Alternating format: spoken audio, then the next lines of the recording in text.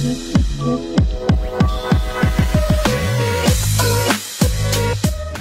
sport other than basketball? Um, baseball. In the morning. Three hours. Violet.